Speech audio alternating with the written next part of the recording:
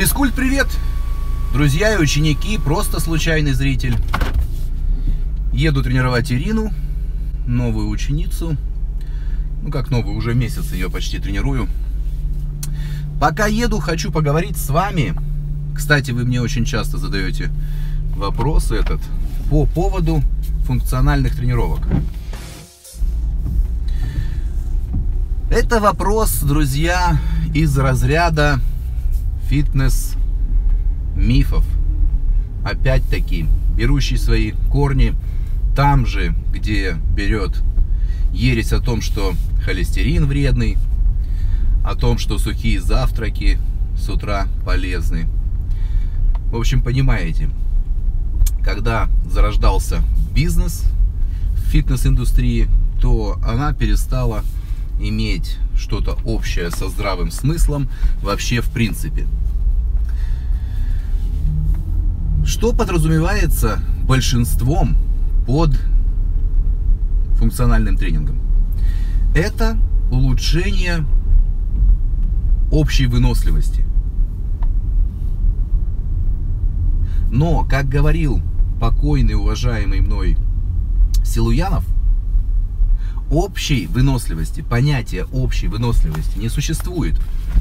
Это все равно, что те дурачки, которые до сих пор верят, что бег улучшает общую выносливость, что он развивает сердечно-сосудистую систему. На самом деле, друзья, бег больше имеет минусов и больше вредит вашему организму, особенно если у вас лишний вес, особенно если вы бегаете по беговой дорожке чем положительного эффекта.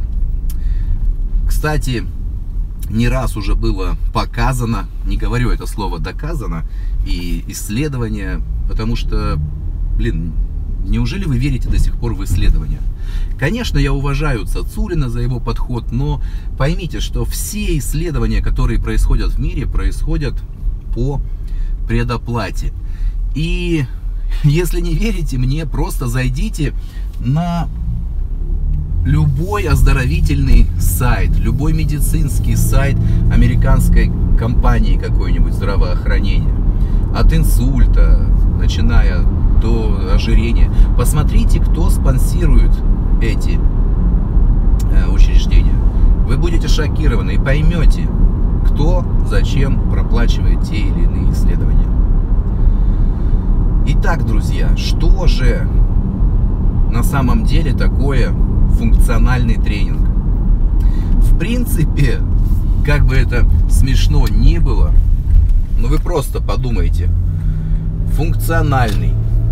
Любое движение, которое вы делаете, ну, кстати, за исключением бега, многие думают, что наши предки там бегали постоянно. Нет.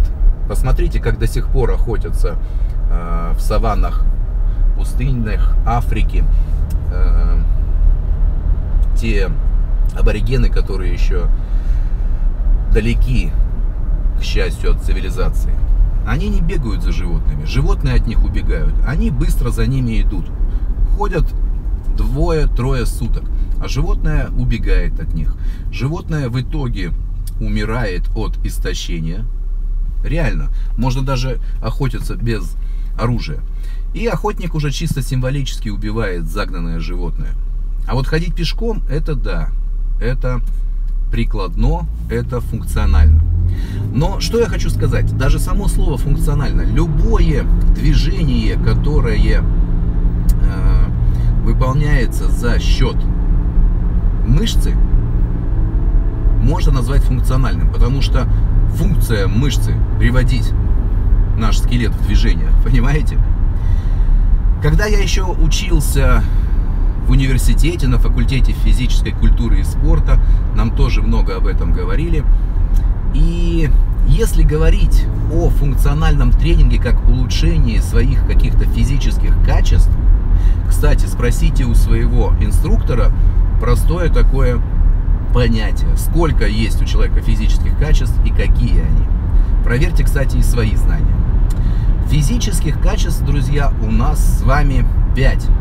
Это сила, выносливость, скорость, координация и гибкость. Так вот, друзья, если говорить о функциональном подходе, в котором принято сейчас об этом говорить, то каждое из этих качеств нарабатывается, тренируется отдельно от другого. Невозможно сразу же нарабатывать все качества. Вот с этой точки зрения функциональная тренировка невозможна. Точно так же, как мы приходим к выводу, что нет и общей выносливости. Я уже не раз рассказывал, что общая выносливость это квинтэссенция всех ваших физических качеств, развиваемых равномерно, равноценно. По Силуянову я за два месяца поднял уровень своей выносливости практически на максимум. Как я это проверял? И вы можете это сделать тоже. Вы знаете, кто смотрит мой канал уже довольно-таки давно, а каналу 4 года, что я учился в спецклассе по футболу. У нас были тренировки утром, после школы. То есть вы понимаете, соответственно, мы много очень бегали, так как были футболистами. И у меня всегда, всегда была проблема э, с выносливостью, именно с бегом на дальние дистанции. Я прибегал там среди девочек. Но никто в классе, даже самый быстрый футболист, не мог обогнать меня на короткие дистанции. На короткие дистанции, когда не нужна была выносливость, когда нужен был максимум проявления взрывной силы, скорости, я делал всех, что мне, конечно, очень нравилось. Прыгал в длину я тоже дальше всех, и с разбегу, и с места – ноги от отца мне генетически передались довольно-таки мощные, сильные, выносливые относительно. Так вот, почти 10 лет, друзья, я бегал и утром, и вечером после школы на тренировках. И что вы думаете, хоть на грамм выросла моя выносливость? Нисколечко. В зрелом возрасте а моей мечтой всегда было играть в хоккей, но я этого не мог себе позволить, потому что жил в солнечной Молдавии, сейчас вот живу в солнечной Флориде. И у нас вообще просто не было катков. По-моему, каток один-единственный в Кишиневе построили не так давно. Естественно, все мы играли в футбол. Так вот, когда я в 34 года впервые встал на коньки, стал обучаться игре хоккейного вратаря в воротах, я обнаружил, что выносливости у меня вообще практически ноль для такого вида деятельности. Да и сейчас иногда подустаю, но представьте себе, ты на коньках, многие думают, стоит в воротах. Вратарь играет в воротах, он не стоит. Он постоянно двигается. Он постоянно садится, встает, на колени встает, лево-вправо повороты, прыжки, развороты. И все это без перерыва. Полевые игроки меняются, вы знаете. Ноги порой забиваются так, что постоянно, постоянно мышечная усталость у меня. Но я ведь еще их качаю приседаниями. Так когда я узнал о методе повышения выносливости – от Силуянова. И я снял об этом ролик.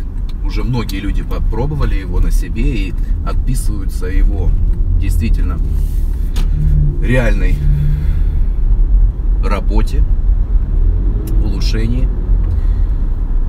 У меня повысилась выносливость. И через два месяца я мог уже не то что 15 минут играть на льду, я мог отыграть один матч спокойно, а иногда не хватает вратарей, кто-то не приходит, у следующей пары команд, меня просили, я играл еще и две игры подряд. Представляете себе, да? Так вот, десятилетия бега не приводили вообще ни к чему. А здесь два месяца специальной подготовки на увеличение митохондрий в миофибрилах. То есть увеличение специальных энергетических таких аккумуляторов в мышечном волокне привело меня к хорошей очень выносливости. Выносливость можно и нужно развивать локально. И когда вы развиваете эту выносливость в каждой из мышечной группы, вот тогда и складывается общая выносливость. Так что, друзья, прекращайте эту чушь в виде бега. Я не хочу оскорблять никого, кто бегает. Я понимаю, что многие от этого получают удовольствие. Найдите замену. Быстрая ходьба будет столь же полезной, более приятной, но самое главное, она будет эффективной. Потому что бег тоже не сжигает жир. Бег пережигает ваши мышцы. Мы об этом уже тоже очень много раз с вами говорили. Так что, друзья, не забывайте об этом. Кстати, не забудьте купить мою книгу. Отдельно книга для парней, отдельно книга для девчонок. Вы узнаете очень-очень много полезной эксклюзивной информации. Книги в электронном виде стоят всего 25 баксов. Пишите мне в контакт в личку, я скажу вам, как их приобрести. Я вам гарантирую, что информация, которую вы там получите, перевернет очень многие взгляды на устоявшиеся точки зрения. Попробовав мои методы, вы с гарантией будете расти в плане мышц, выносливости, скорости и терять жировые накопления. Причем эта книга, что для мужчин, что для женщин, для натурального тренинга. Потому что сейчас очень много мифов, когда тренировки людей, сидящих на фармакологии, преподносятся как самые лучшие. На самом деле все очень просто. Особенно важно эти книги приобрести тем, кто только начинает свой путь или начал. Вы сможете проверить, грамотно ли вы идете, понимает ли ваш инструктор то, о чем говорит, и вообще говорит ли он о чем-либо правильно. Если вы хотите быть инструктором, если вы взяли на себя ответственность тренировать людей, вы просто обязаны прочитать обе эти книги. Просто хотя бы для общего развития. Вы можете со мной не соглашаться, но изучать вы должны, вы обязаны любую появляющуюся информацию, анализировать ее, пропускать через призму здравого смысла, желательно опытным путем доказывать ее работу или наоборот не работу. Только так вы будете действительно настоящим грамотным инструктором. Очень много важной информации, которая упускается вообще, но должна преподноситься в первую очередь. Для женщин и для мужчин. Друзья, это не реклама, это действительно огромный колоссальный труд, в первую очередь практический, немножечко теоретический, накопленный более чем за 25 лет моего непрерывного опыта и нахождения на этом пути. Так что, друзья, в следующий раз, когда вам будут говорить, что та или иная тренировка функциональна, спросите сначала человека, особенно если это инструктор, что он понимает под этим вопросом. Потом задайте ему вопрос, какие бывают физические качества вообще у человека, чтобы говорить о функциональном тренинге. И когда, если вдруг он вам ответит на это, просто чтобы понимать, спросите о классификации мышечных, о классификации мышц. И я уверен, что 99% не ответят вам на это. Потому что прежде чем говорить вообще о каких-либо классификациях э, на деление на гликолитические, окислительные, промежуточные мышечные волокна, медленные, быстрые. Нужно понимать, что такое, что такое фазические и тонические мышцы. Я уверен, что большинство из вас этого не видели. Но тот, кто смотрит мой канал, читает мои статьи, в книгах это очень хорошо описано, знает обо всем об этом. И только так вы сможете грамотно идти по этому пути. А вы знаете, что чем правильнее, чем грамотнее мы начнем наш путь, тем более результативным он будет с точки зрения достижения той или иной цели. И что самое главное, он будет сохранять и даже улучшать наше с вами здоровье. И физическое, и психологическое. Не будет убивать центральную нервную систему и будет приносить только пользу, друзья. Это я вам гарантирую. Так что Читайте мои статьи, смотрите видео абсолютно бесплатно. За символические деньги покупайте мои книжки. Обязательно, друзья, делитесь моими роликами в своих соцсетях. Это лучшая благодарность, если вам нравится то, что я делаю. Делайте репосты, пишите комментарии, ставьте лайки, дизлайки, пишите, почему лайк, почему дизлайк. И увидимся, как всегда, в тренажерном зале. Спасибо, что смотрите.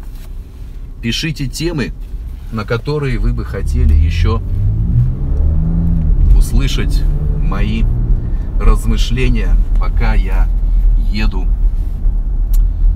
туда или обратно. Я знаю, многим из вас нравятся такие сюжеты из машины. Мне нравится размышлять, дискутировать с вами, появляются новые мысли – нравится показывать вам, что я могу не только написать статью, которую, кстати, в принципе может сделать любой человек, если засядет за изучение любой темы, можно написать очень грамотную статью, не являясь совершенно специалистом в той или иной области.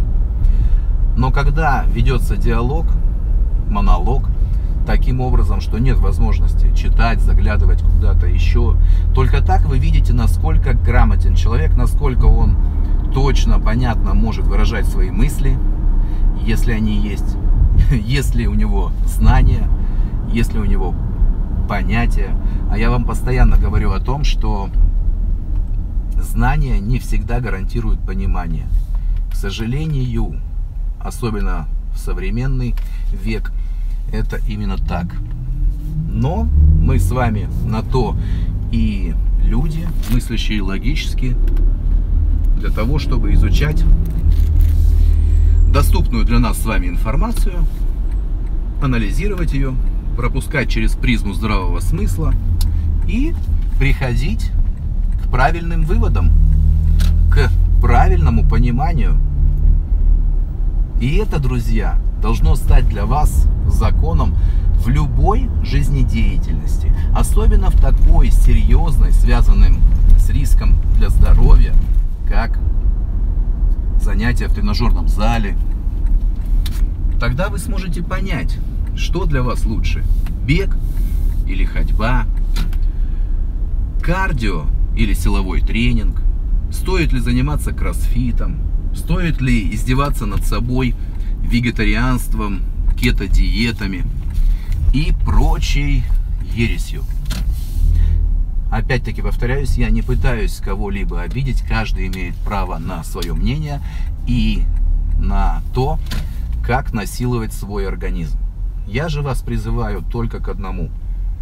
Включать мозги для того, чтобы любое ваше действие было над организмом не насильственным, а полезным.